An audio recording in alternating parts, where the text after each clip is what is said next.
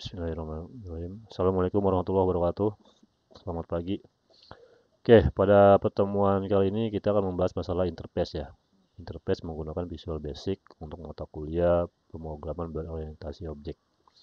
Ya, sebagai contoh kita akan membuat aplikasi proses untuk menghitung luas segitiga gitu ya. Nanti ada alas, ada tinggi, kemudian setelah diproses dia akan menghitung gitu ya. Nah, uh, kita untuk menghitung ini menggunakan interface. Ya, interface. Di sini ada kita buat interface ini dalam satu modul ya. Kita membuatnya di dalam modul. Jadi pertama kali yang dibuat adalah uh, buat create modul baru ya. Uh, add new ya, new modul. Kemudian nanti akan terbentuk seperti ini, kemudian dimasukkan codingnya di dalam modul seperti ini. Ya. Nah, yang pertama diketik adalah interface luas segitiga. Interface ini wajib seperti ini penulisannya. Kalau ini bebas mau diketik apa gitu ya. Kemudian uh, jadi intinya interface luas segitiga ini dia akan memanggil uh, function lu luas segitiga. Nih. Dia akan memanggil ini segitiga itu apa sih? Ya, jadi kalau ini nanti pas lewat sini codingnya, maka dia akan ke sini. Menghitung luas segitiga yang di dalamnya hitung luas ini ada dia uh, return itu proses ya 0,5 dikali alas kali tinggi. Gitu ya.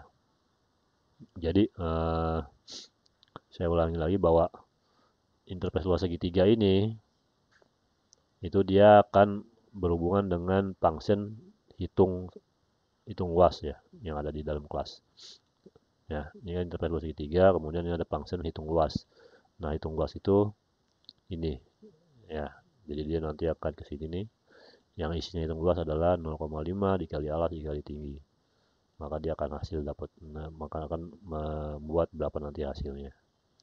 Ya jadi ini ini contoh implementasi di dalam uh, penggunaannya di dalam modul. Ya intinya adalah yang paling pokok ini sebenarnya. Ya ada keywordnya dengan nama interface. Kemudian ditutup dengan n interface Oke, ini modulnya. Dan di dalam formnya seperti ini codingnya. Dibuat form seperti ini, ada alas, ada tinggi, luas segitiga, nanti hasilnya itu di dalam label 3 ini. Jadi namanya saya namain LBL luas ya. Ini LBL luas.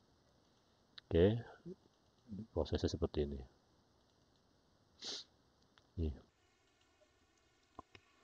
M luas, new sebagai hitung luas ini ngambilnya dari hitung luas modul ya. Ini kalau kita cari hitung luas ini dari, dari sorry dari kelas. Jadi dari kelas. Kemudian M alas dia sebagai long. M tinggi dia long juga. Ini long spending ya aduh.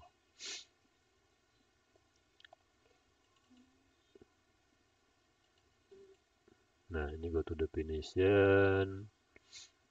Nah, ke sini larinya ya. Sini larinya. Kemudian bikin objek namanya M alas, dia sebagai long, M tinggi sebagai uh, long gitu. Dan M alas sama dengan txt alas. Jadi alas nanti di, diketik berapa, di sinilah nilainya M alas sama dengan ini. M tinggi sama dengan txt tinggi. Txt luas yang ini ya. Eh, txt alas yang ini, txt tinggi yang ini kemudian nanti LB luas sama dengan hitung luas. Ya M luas M luas itu yang ini. Titik hitung luas hitung luasnya dari modul yang tadi. To definition ya, hitung luas. Maka dia akan memanggil ini nanti.